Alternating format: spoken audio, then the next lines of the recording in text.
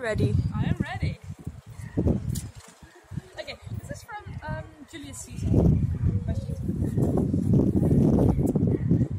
Friends, Romans, countrymen, lend me your ears. I come to bury Caesar, not to praise him. The evil that men do lives after them. The good is often interred with their bones, so let it be with Caesar. The noble Brutus have told you Caesar was ambitious. If this were so, it was a grievous fault, and grievously have Caesar answered it. Here, on the leave of Brutus and the rest, for Brutus is an honourable man, so are they all, all honourable men. Come I to speak at Caesar's funeral.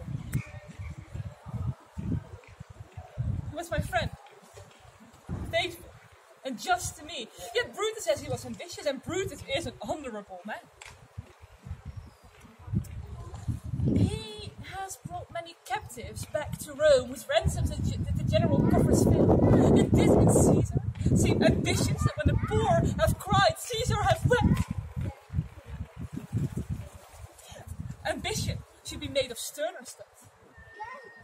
Yet Brutus says he was ambitious, and Brutus is an honourable man.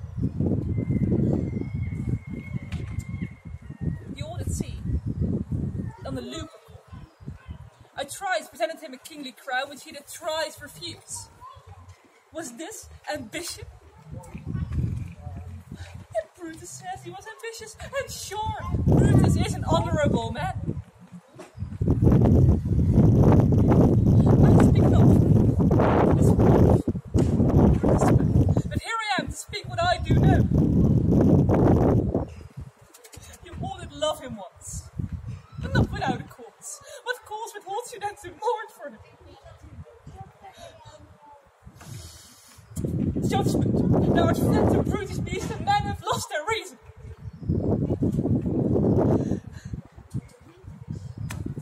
Bear with me. My heart is in the coffin there with Caesar. And I must pause till it come back to me.